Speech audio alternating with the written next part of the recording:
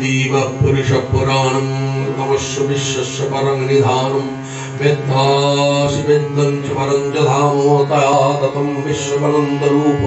वायुर्जमुषशङ्को प्रजापतिस्तम् प्रपितमनश्च नमो नमस्ते स्तु सहस्रपित्तः पुनश्च भयोभिः नमो नमस्ते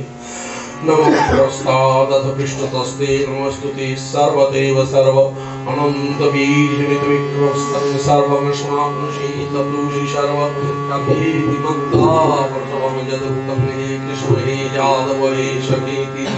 जानता मयिमानन्दवेदङ्गमयप्रमदात्तमेनुवापि यच्चावहाशात्मशत्रुदोषे विहारशुद्ध्याशुरभजनेषु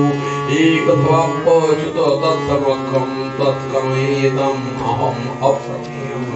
पीता हि लोकस्य चराचरस्य तमशुजस्वर्यम् न तत्समस्तपथिकृतन्नपुत्रे पतिमुभाव तस्मात् प्रणम्य प्रणिधाय कायम् प्रसादयेतम् अहमीशमिद्धम् इत्येव पुत्रस्य शकैव शङ्खो പ്രിയപ്രിയായിച്ചപ്രബോധമനോമി തദൈവ മീനർഹ ദൈവരൂപം പ്രസീത ദൈവീയ സജലം നിവാസം കിരീടനം ഗതിനം ചക്രസ്തുമിച്ഛമി തം ദുഷ്ടമോ തദ്വീവ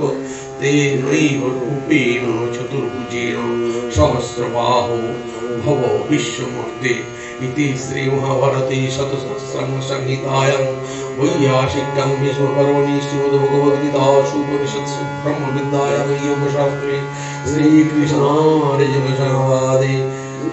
विश्वरूपदर्शनयोगो नामो एकादशोऽध्याङ्गसुविशेषो